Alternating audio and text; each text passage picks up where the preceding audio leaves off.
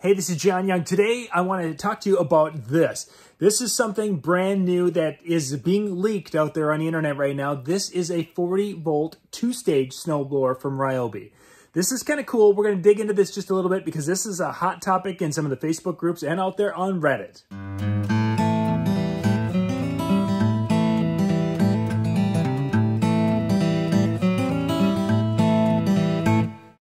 Now, the first thing, it's you're wondering about snowblowers, Ryobi has had a 40 volt snowblower that is a single stage. Single stage basically means that it has the kind of the little auger piece that will actually throw the snow also. A two stage is one where it has the auger piece that kind of grinds and pulls the snow in, and then it has a blower in the back that will blow the snow out. Single stage, it's all in one unit that basically is a faster auger that does its thing. Two stage is generally one that can go through a little bit more snow. Up here in Minnesota, two stages is what we use when we're doing the edges uh, where the, the snowplow is pushed up. The single stage can do a lot of driveways and walkways. Some single stages can do that, that edge if it doesn't freeze and get really hard.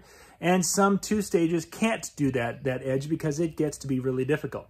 So this is something that's going to be pretty, pretty cool here coming out from Ryobi a brand new unit that is coming out here for 2021. It's actually not on the website, and if you talk to our contacts at, at Ryobi, it doesn't exist yet, but it does because it's showing up at Home Depot.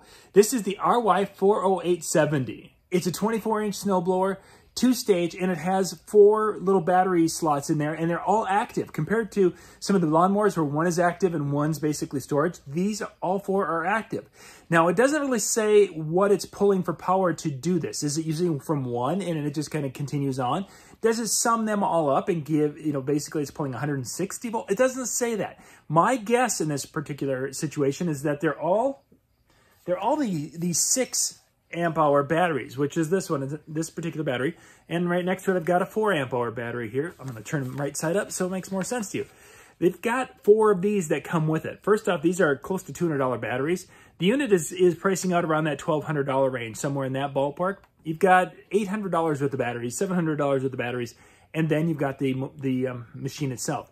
Compared to the 4 amp hour battery, you can see that there's a size difference. Now, if we go to the biggest, the 7.5 amp hour battery, it's a little bit larger, but it's really quite close, but you're getting four of these in it, so you're good to go. So my guess is what they're doing with this is they're taking and they're going to be drawing from two of them at the same time. That would give you an 80 volt uh, draw on that to be able to run the auger, to be able to run the wheels, because these have to be these have to be self-propelled and then it's got to do the, the blower. So you've got a lot more going on than you do on a single stage where basically it's the wheels and all you're doing is running the auger. I'm thinking, this is me guessing, and I could be wrong, that it's using an 80 volt system where it's taking two of these and combining that and then once it draws down the two, then it goes to the next two type of situation. However it does it, I'm not, I, we don't know for sure. I'm just speculating.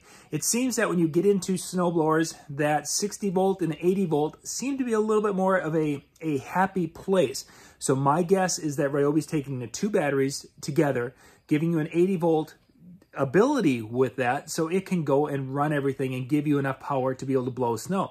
Because this has got a metal auger on the thing in the front and that's going to be able to dig into that, that snow and ice that's at the end of your driveway. And that's a really kind of important feature because some of the rubber and plastic ones will just kind of bounce off that. But having that metal auger in the front is going to be able to chew into that snow and ice and be able to really do a nice job of clearing that, clearing that out. So on their little flyer here, you can see that it's saying it's clearing power. It can do 31 driveway spaces on a full charge. 31 driveway spaces are basically 31 spots you can park a car in a driveway on a full charge. Think about that. That if the if the driveway, if say those were even eight by 20 spaces and you got 31 of those, that's a lot of driveway that that's going to be able to clear off.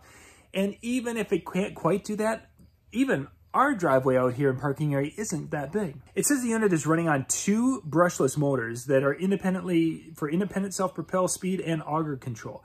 Now, I'm not sure exactly how they're running that. If it's one that's going to be able to do the, the moving of the device, and the second one is going to be able to run all of the auger and blower. We'll have to find that out as we get a little bit closer, but having two different controls may mean that they're having two batteries run one thing and two batteries running the other, which is certainly a possibility. I like this as you look at the controls in this little image, you've got You've got your push button start, your fuel gauge, so basically how much battery you've got left on it. Heated grips, which is kind of a cool thing if you've ever been blowing snow in, in uh, negative degree temperatures in Minnesota.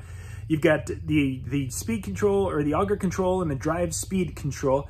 You can adjust the chute to go left or right with that. And of course, it has LED headlights on the unit. And then take a look at this. Not only can we adjust the chute left and right, we have got a 50 foot throwing distance. Obviously, you're gonna have to have the right combination of snow depth and type of snow. But 50 feet, that is substantial. That is like better than a lot of the gas units out there. So right now it is not available. There's no information online out there on this. This again is the RY40870.